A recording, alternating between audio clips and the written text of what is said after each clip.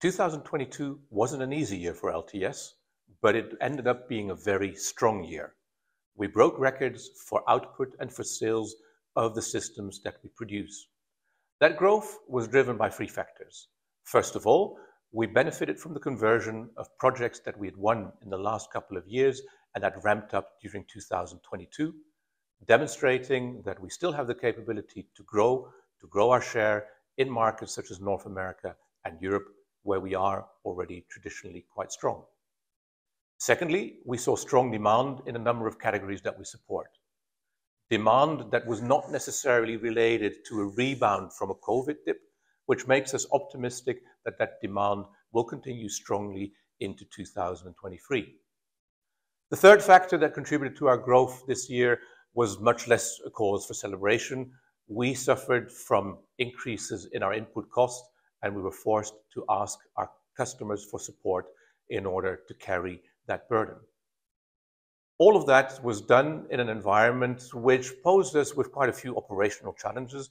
In particular, you can imagine that we too had instability in our workforce, uh, because our workforce wasn't immune to COVID, nor to the various flu waves that made their way through through our continents in the second half of the year. As far as I'm concerned, the LTS team can be particularly proud of achieving these records in a challenging environment.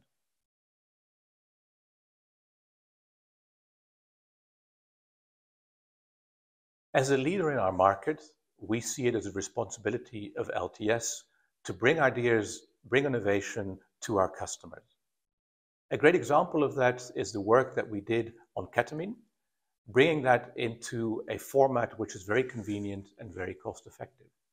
Ketamine is a molecule that is prescribed to patients for pain, for depression, and has potential for other indications as well.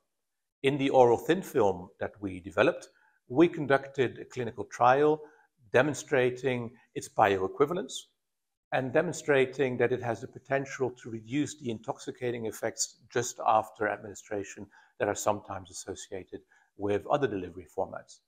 We are now in dialogue with pharma partners to see how we can jointly bring this to patients and commercialize it. And that's just one example of the ideas, of the innovation that LTS will continuously bring to the market for transdermal and transmucosal systems.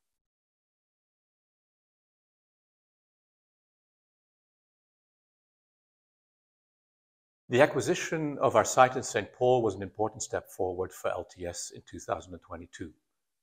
On the one side, it strengthens our position in our existing business in the most important pharmaceutical market in the world, the North American market.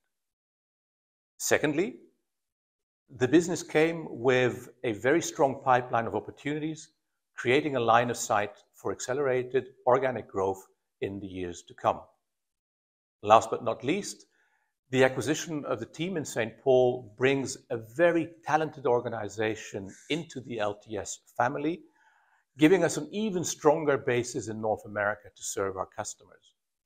We are particularly pleased that with this acquisition, we now have, once again, R&D capabilities on the North American continent that will allow us to serve our customers more quickly and with a broader range of capabilities.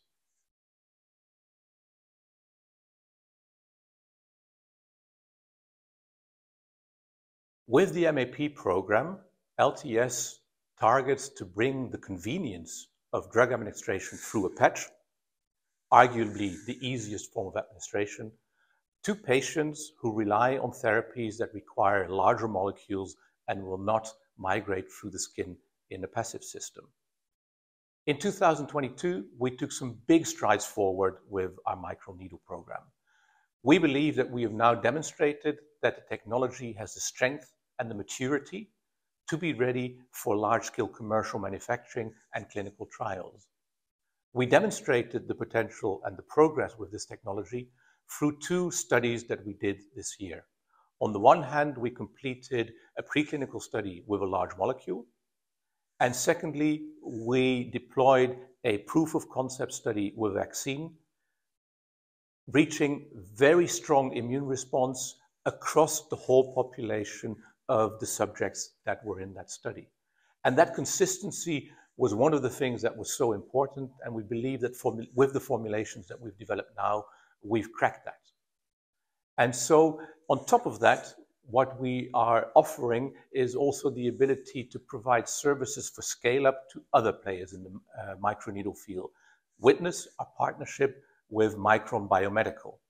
And so whether through our own programs or through our partnership with Micron, LTS is committed to be the first company to bring microneedles into full-scale commercialization, unlocking their benefits for patients across the globe.